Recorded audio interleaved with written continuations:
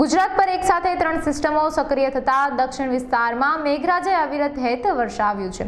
વલસાડમાં ભારે વરસાદથી ઓરંગા નદીના પાણીની સપાટી વધી છે. તેમજ નીચાણવાળા વિસ્તારોમાં એલર્ટ જારી કરાયું છે. વલસાડમાં એનડીઆરએફની ટીમ તૈનાત કરી દેવાઈ છે. આ ઉપરાંત સુરત, બારડોલી, ચીખલી, ધરમપુરમાં આઠ ઇંચ વરસાદ ખાબકતા જળબંબાકાર જેવી સ્થિતિ સર્જાઈ છે. જ્યારે સૌરાષ્ટ્રમાં સોરઠ પંથકમાં દોઢથી ચાર ઇંચ વરસાદ નોંધાયો છે. જામકંડોળામાં અઢી, ભેંસણ મેંદરડામાં દોઢ ઇંચ વરસાદ પડ્યો છે, જ્યારે રાજકોટ સહિતના અન્ય સ્થળો હજુ વનરાધાર વરસાદની રાહ જોઈ રહ્યા છે. ગુજરાત પર એક સાથે ત્રણ ત્રણ સિસ્ટમો સક્રિય થતા દક્ષિણ વિસ્તારમાં અતિ મેઘમહેર થઈ છે. શહેરના દાણા બજાર, છીપવાડ, બરુડિયાવાડ છે, કૈલાસ રોડ, આબ્રમા, ચીચવાડા, હનુમાન ભાગડા, ધમડાચી, સાળંગપુર અને ઓવાડા સહિતના વિસ્તારોમાં પાણી ભરાયા છે. તેમજ તંત્ર દ્વારા એલર્ટ જાહેર જારી કરાયો છે.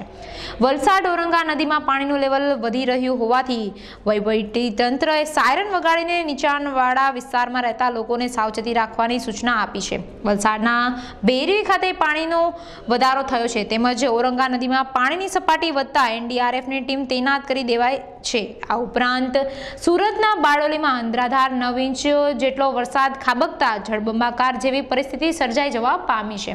તેમજ ચીખલી, ધરમપુર, વધઈ, બોરસદમાં આઠ આઠ ઇંચ વરસાદ પડ્યો છે.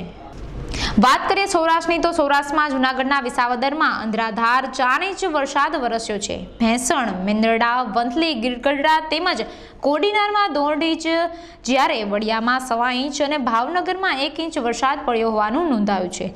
જામકંડોળામાં વરસેલા વરસાદના આંકડા પર એક નજર કરીએ, તો અગાઉ તેત્રીસ મીમી વરસાદ પડ્યો હતો. જ્યારે બુધવારે પંચાવન મીમી વરસાદ પડતા કુલ વરસાદ ત્રાણું મીમી નોંધાયો છે.